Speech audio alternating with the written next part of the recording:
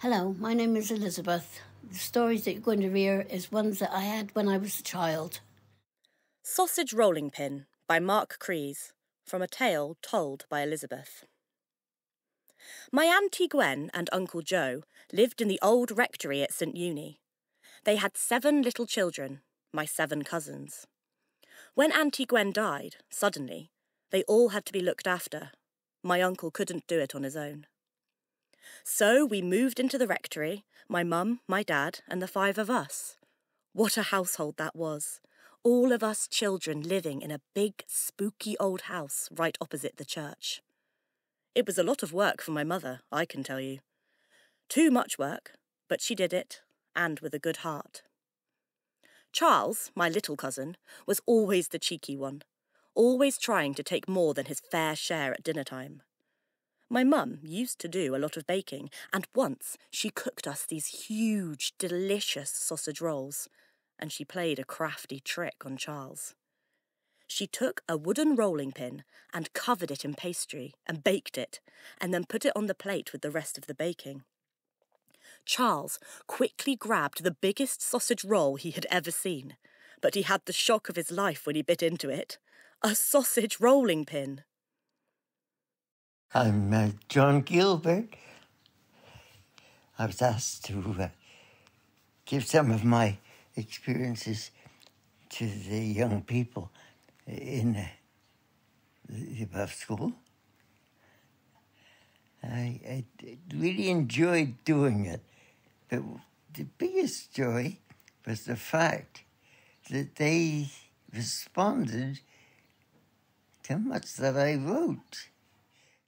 Without a Dicky Bird by Jane Pugh, from a tale told by John. Cinema on Saturday, church on Sunday, and piano lessons in the week. At school, John was a good boy and he liked his teacher, Miss Lord. They had a Cornish range and a gramophone they didn't use.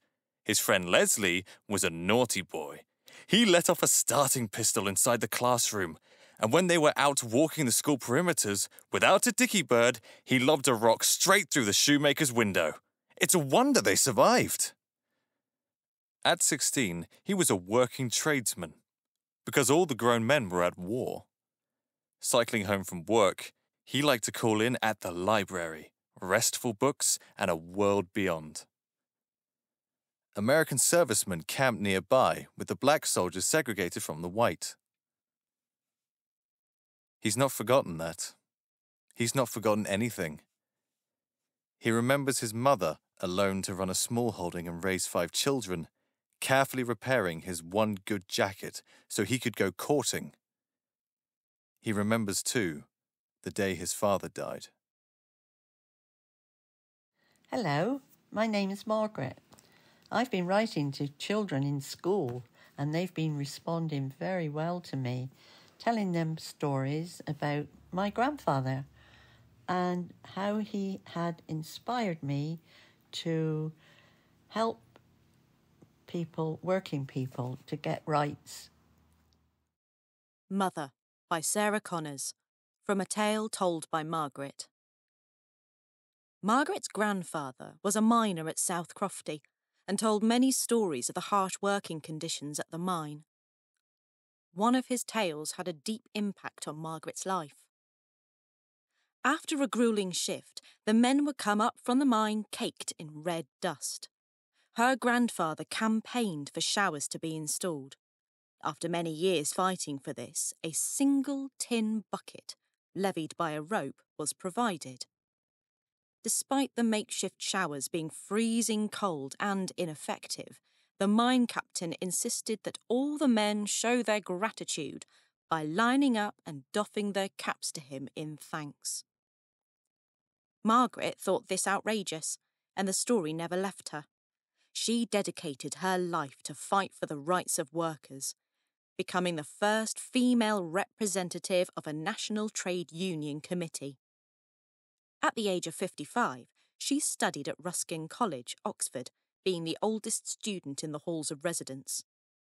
She travelled the world as a trade union rep, tirelessly campaigning for the rights and safety of workers. She is affectionately referred to as Mother. What a woman. These stories were told as part of the Pens, Paper, Envelopes project, an intergenerational letter writing project for the Writer's Block, read by Zoe Waters, Tom Hale, and Connie Crosby, recorded by Phil Innes.